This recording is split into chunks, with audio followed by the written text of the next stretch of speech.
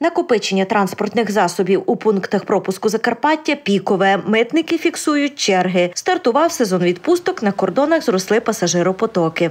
В першу чергу пасажирських автобусних, особливо що стосується вихідних днів і інколи окремих днів тижня.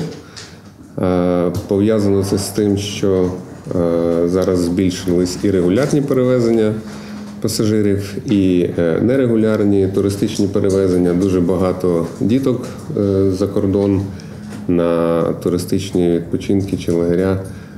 В тому числі і дітки наших військових відправляються туди. Наші партнери, суміжні країни приймають їх.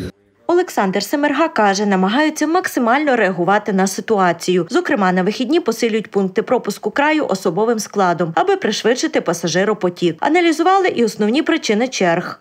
Враховуючи наш військовий стан, враховуючи ситуацію в країні, е, колеги на суміжних сторонах е, трішки прискіпливіше відносяться до наших е, як пасажирських, так і вантажних перевезень. Відповідно, більш детальніше, більш уважніше проводять і митний і прикордонний контроль наших громадян на, на в'їзд до країн ЄС. Крім того, більше часу йде на перевірку чоловіків призовного віку. Окремо зупинилися на пропускній спроможності. Найбільше цьогоріч оформляли за добу, каже головний митник краю 70 автобусів. Буває в середньому від 7 до 10 автобусів перед пунктами пропуску. А тривалість перетину кордону коливається від 40 хвилин до 8 годин на вихідні відповідно. Ми беремо специфіку Ужгорода. Ви знаєте, там зараз не завершена реконструкція, яка тягнеться роками.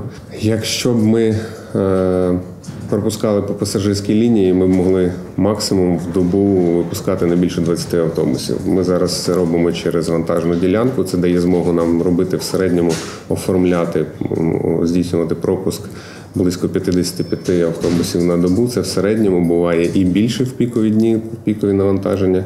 Якщо порівнювати з довоєнним туристичним літнім сезоном, резюмує Олександр Семерга, тривалість перетину кордону зросла на 19%. Цьогорічних новацій – система раннього повідомлення про нестандартні ситуації на кордонах. Запроваджено пілотний проєкт на теренах Закарпаття. Це результат перемовин з країнами-сусідками.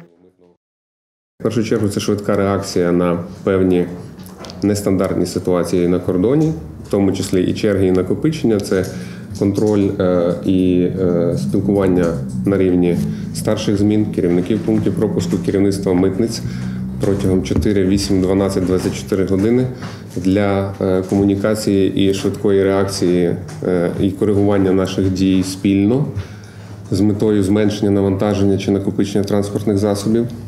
Планах також, якщо буде тенденція до збільшення охочих перетнути кордони краю, відновити автобусне сполучення через пункт пропуску Малий Березний. Для інформування громадян про поточну ситуацію та зворотнього зв'язку запровадили також пілотний проєкт Митниця у смартфоні, про який детальніше у наступному випуску новин.